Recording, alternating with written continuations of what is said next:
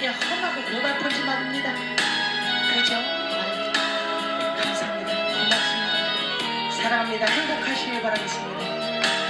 항상 행복한 삶만 사시기를 꽃길만 걸으시길 바라겠습니다.